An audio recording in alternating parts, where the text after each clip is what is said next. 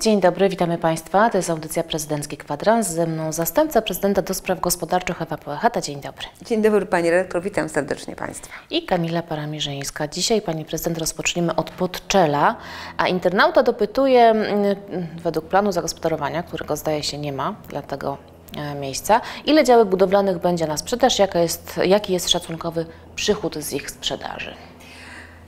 Rozumiem, że internauta tak naprawdę nawiązuje do mm, Zapewne materiału, tak. który został e, przedstawiony em, naszym radnym i zarządom dzielnic.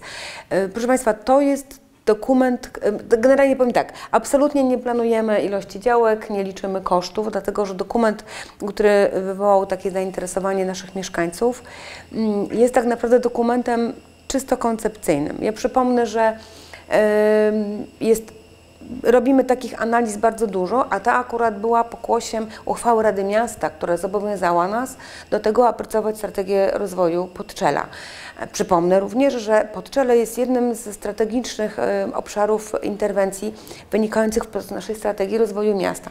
I ten dokument, który powstał, jest tak naprawdę dokumentem czysto koncepcyjnym. Nie zakłada, e, czy tam będą dokumenty, pokazuje potencjał tego osiedla, potencjał tego, tego, tej dzielnicy, pokazuje potencjał mm, tego terenu. Jest e, przeprowadzonych szereg badań, nawet geologicznych, e, bo na potrzeby analizy konieczne było wykonanie takich badań, żebyśmy zobaczyli, czy nie pozostało coś jeszcze po wojskach radzieckich, które w 90 latach opuszczały e, e, te tereny. Więc tak naprawdę to jest tylko koncepcyjny dokument pokazujący, jakie możliwości daje miastu ta dzielnica Miasto dla nie planuje rozwoju. wydzielania działek budowlanych póki co, Absolutnie jeszcze ich sprzedaż. Absolutnie to nie byli projektanci po pierwsze, bo też gdzieś taki poszedł przekaz e, w mediach. To była firma konsultingowo-doradcza, która zajmuje się takiego typu analizami. I my tą analizę robiliśmy na potrzeby uchwały Rady Miasta, która była potrzebna, po, po, podjęta jeszcze w tamtej mm, kadencji. Dlatego mamy ogromny materiał, bardzo ważny materiał, bo przypomnę Państwu, że ogromne zadanie stoi przed samorządem kołobrzeskim już od y, nowego roku. Mm, My czekamy do nowego roku ze względu na y, przyłączenie mm, Korzyścienka do miasta, a tym dokumentem, który miasto jest zobligowane opracować, jest plan ogólny wynikający ze zmiany ustawy o planowaniu i zagospodarowaniu przestrzennym. I to jest wyzwanie, które e, stoi przed naszym miastem. Tu mamy naprawdę ogromny wsad w postaci szeregu analiz e, i nie przesądzających Znaczy- absolutnie o tym, gdzie będą działki budowlane, ile ich będzie, jakie Ale one miasto będą. wychodzi z założenia, że ten plan, ta koncepcja jest słuszna i w tym kierunku chciałoby Nie, nie, pójść. nie mówi, czy jest słuszna, pokazuje potencjał.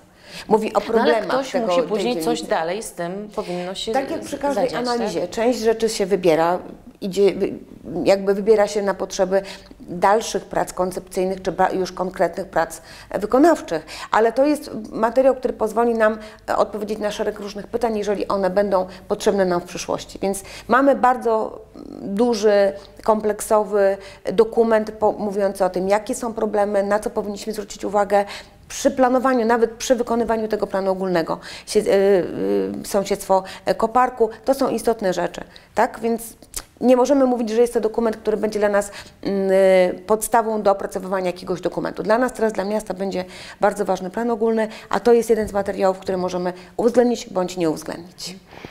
E, Dobrze, Pani Prezydent, od tego dużego tematu przejdziemy teraz do takiego małego, ale myślę bardzo ważnego dla wielu mieszkańców. E, Mazowiecka, ZAS, przystanek autobusowy nie ma wiaty w kierunku ulicy Starnowskiej. Czy można ją tam postawić?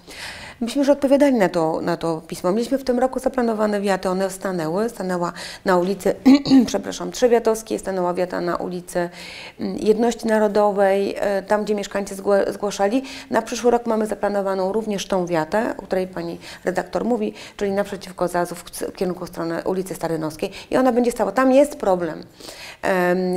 Jakby powiedziałabym miejscowy, lokalizacyjny, bo mamy w pobliżu rów, ale udało nam się znaleźć takie miejsce, w którym ta wiata będzie mogła e, stanąć e, po to, żeby osoby czekające na autobus mogły się po prostu schronić w razie potrzeby. Więc mamy ją zaplanowaną do budżetu na rok 2025.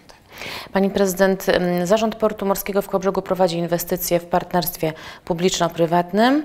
E, chodzi o parking w porcie, natomiast internauta dopytuje, czy miasto nie mogłoby pójść w tym samym kierunku i wybudować fajnego centrum jakiegoś rozrywkowego, rozrywki dla mieszkańców kina na terenach między Mazowiecką Jasną Żurawią.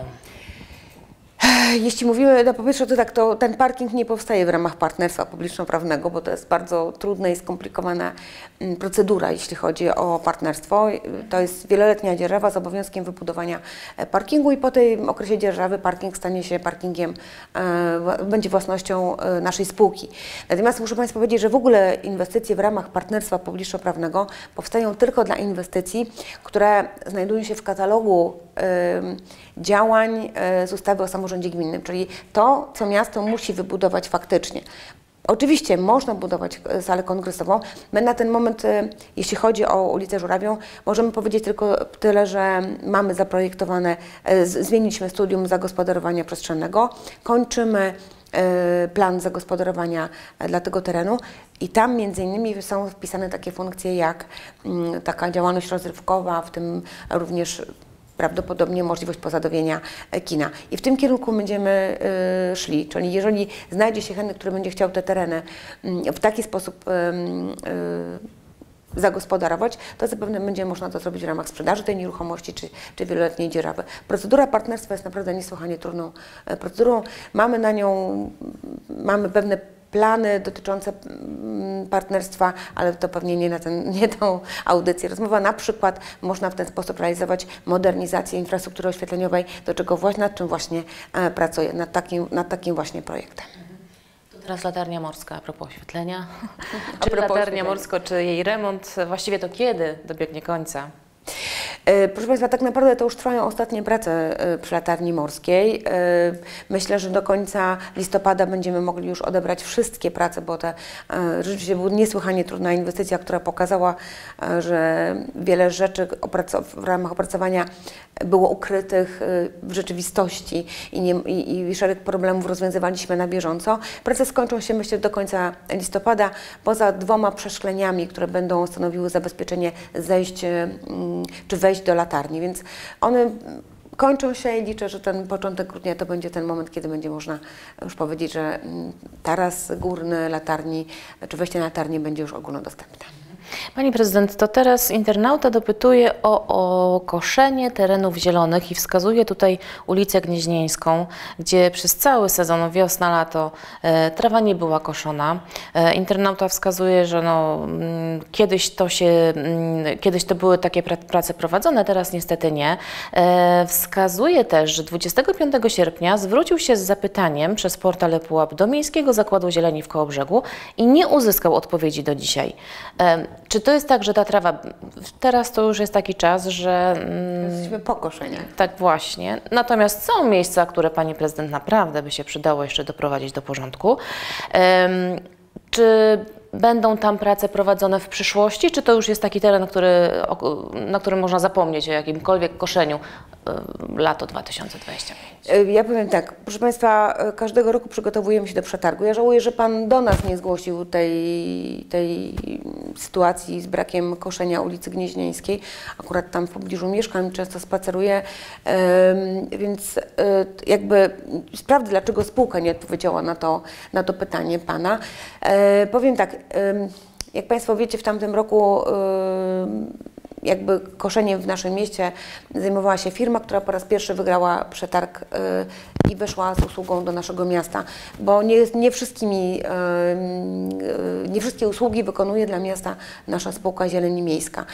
Mieliśmy niestety trochę problemów i zawirowań na początku, jak to nowa firma w mieście. Wydawało się, że z biegiem czasu było coraz, coraz lepiej, harmonogramy mm, koszenia były robione dobrze, ale rzeczywiście niestety część terenów była pominięta. I my To na bieżąco weryfikowaliśmy, także gdybym taką informację otrzymała od Pana tutaj do urzędu, że coś nie było koszone, to na pewno byśmy zainterweniowali i ta ulica byłaby skoszona. Przy czym ulica Gniecińska jest szczególną y, taką ulicą, e, zupełnie leżącą na tyłach e, nieruchomości, jeszcze nie urządzoną, bo to jest taka polna droga. Ja przygotowuję teraz nowy przetarg na kolejny rok na koszenie i zadbam o to, żeby przynajmniej raz czy dwa razy w sezonie koszenia tam na tej ulicy pojawili się kosiarze. Dobrze. Pani prezydent, to teraz zmienimy temat. Właściwie wrócimy do Podczela. Kresowa. Na jakim etapie jesteśmy? Tutaj oddycham tak e, głęboko, bo najtrudniejszy etap e, przygotowania tej inwestycji mamy za sobą, a tym najtrudniejszym etapem było przygotowanie decyzji środowiskowej i uzyskanie decyzji środowiskowej. I muszę Państwu powiedzieć, że właśnie ta decyzja została wydana, czeka się tak naprawdę na uprawomocnienie, jest e, po- podana do publicznej wiadomości, bo taka jest procedura. Mm, I po tym, jak się uprawomocni, po- potrzebować będziemy jeszcze tylko pozwolenia wodnoprawnego, aby złożyć wniosek o pozwolenie na budowę. Wydaje się, że pozwolenie wodnoprawne będzie już tylko formalnością, bo kluczowe było, klu- kluczowa była ta decyzja środowiskowa, ona jest potrzebna do tego, żeby takie pozwolenie mogło zostać wydane. Chodzi oczywiście o odprowadzenie wód y, opadowych, a jesteśmy jeszcze w bardzo trudnym terenie, jakim jest ekopark. Y, Stąd liczę, proszę Państwa, że do końca stycznia będziemy mieć już y, złożony wniosek o pozwolenie y, na budowę. No ale oczywiście otwiera się kolejny, e, kolejna, e, kolejny Równie trudny trudny, etap trudny etap, pieniędzy? e, Przede wszystkim pozyskania e, środków.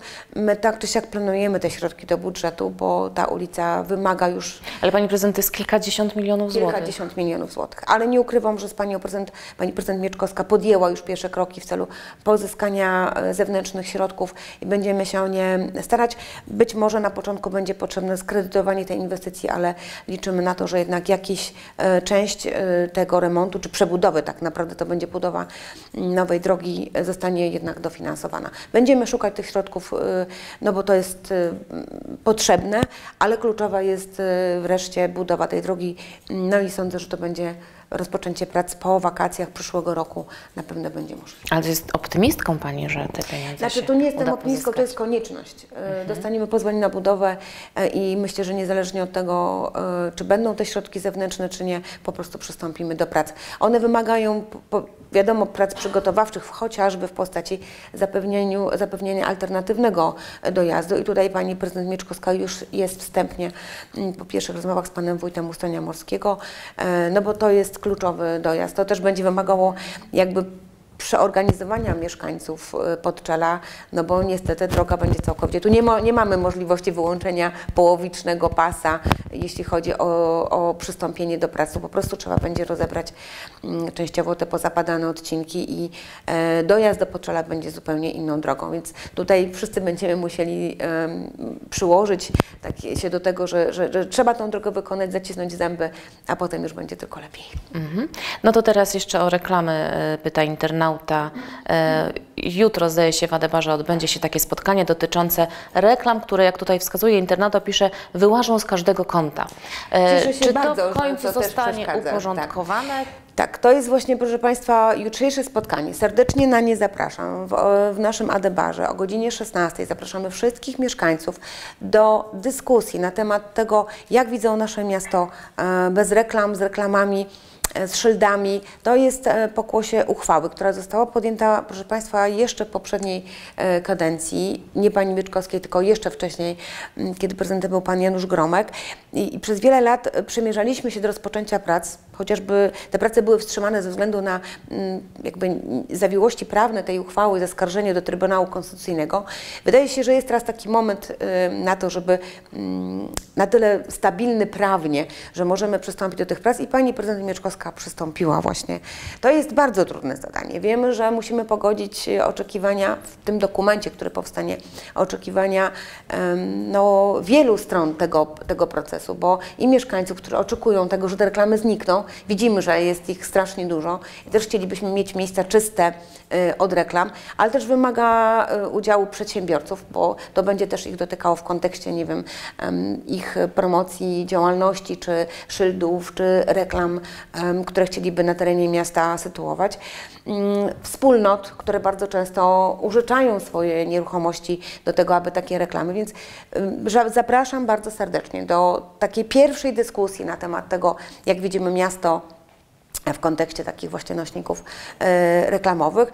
Spotkanie jest otwarte, zapras- zapraszamy, szeroko informujemy e, mieszkańców całego miasta o tym, żeby zechcieli wziąć, przystąpić do tej dyskusji, abyśmy wszyscy byli autorami tego dokumentu. Także zapraszam serdecznie, jutro, Adebar, godzina 16. To jeszcze na koniec. e, Była Pani ostatnio w Szczecinku? Tak. E, Internautka nasza także była i wskazuje, że tam starówka jest o wiele bardziej przyjaźniejsza. Z czego to wynika? Tam wskazuje, że jest pięknie wyeksponowany ratusz z, fontannami, z nowoczesnymi fontannami, zamknięta dla ruchu kołowego przestrzeń o wiele większa niż u nas obecnie w centrum, deptak i tak dalej. E, Mówi- no cóż, ja, ja powiem tak, jest jestem, e, no, jeśli in- internautka ta, tak uważa, to, to, to, to jest zdanie internauty. Ja natomiast jestem kołbrzanką, kochał Kołbrzeg i powiem, że nawet w tej postaci jestem zakochana w Kołbrzegu, w jego centrum, e, co nie znaczy, że nie, że nie chcemy zrobić więcej. Ja już bardzo długo mówimy z Panią Prezydent o tym, jakie w najbliższym czasie czekają nas inwestycje w samym centrum miasta. Ich przygotowanie wymaga czasu, wymaga też pozyskania środków. Udało nam się jedno i drugie. Jesteśmy w trakcie kilku już w tej chwili inwestycji w centrum miasta, czyli termomodernizacja Urzędu Miasta, te odnowienie ym, i mówimy tutaj o remoncie naszego ratusza na zewnątrz i konieczność odnowienia murów ratusza. Drugi etap y, ratusza Skarbiec. Mówimy tutaj o drugim etapie Adebaru. W przyszłym roku ruszają bulwary nad Parsentą. y, Pierwszy etap przebudowy bulwarów nad Parsentą. Zielone tarasy kultury, skwery mm, pionierów. No i iluminacja, która jak Państwo co jakiś czas się pojawia, iluminacja ratusza razem z mappingiem i y, naszej przepięknej bazyliki. Także dużo się dzieje w centrum, ale wymaga to naprawdę mm, dużej, em, dużych bardzo inwestycji, bo przypomnę, że o bulwarach nad, nad Parsentą mówiliśmy na początku poprzedniej kadencji pani prezydent. To była a, koncepcja, potem zaprojektowaliśmy, a teraz udało nam się jeszcze pozyskać dofinansowanie. To jest inwestycja też wielomilionowa, ponad 20 milionów będzie kosztowała przebudowa mm, pierwszego etapu bulwarów nad Parsentą. Jednym słowem Także nie zgadza się Pani z Nie internautką. zgadzam się. On teraz też pięknie nasze centrum wygląda i mm, wiem, znam wiele pięknych miejsc na świecie, a i tak uważam, że Kołobrzeg jest najpiękniejszy. I tego się trzymajmy. E, czy tak optymistycznie myślą mieszkańcy? To czekamy też na Znaczy, te Państwa uwagi krytyczne są zawsze bardzo dobre, ale to jest rzecz, rzecz gustu. Ja przyjmuję naprawdę każdą krytyczną uwagę, ale z jakimś pomysłem, tak? Czyli jeśli nie tak, to może jak? Bo sama krytyka to troszeczkę za mało. Chciałabym, żeby mieszkańcy przychodzili do nas ze swoimi pomysłami, bo tak ciągle to my, to my, to my, to my, a, a Wsłuchujemy się naprawdę we wszystko, co gdzieś tam na naszych spotkaniach wybrzmiewa. Fajne, bardzo fajne były spotkania e, w zarządach dzielnic teraz e, i na dzielnicach. Mm, Przez cały wrzesień się spotykaliśmy. Dużo fajnych pomysłów mieszkańcy zgłaszają, więc we wszystko się wsłuchujemy i na bieżąco realizujemy. A te inwestycje są już zaprojektowane, skonsultowane wcześniej, więc sądzę, że będą tylko cieszyły nasze oko już wkrótce. Dziękuję bardzo za dzisiaj. To była Dziękuję audycja za Prezydencki. Kwadrans, prezydent miasta, zastępca prezydenta do spraw gospodarczych Ewa Połechata. Bardzo dziękuję za rozmowę i Państwu za uwagę i pozdrawiam serdecznie. Kamila Paramirzyńska, dziękujemy za dzisiaj. Do zobaczenia i do usłyszenia.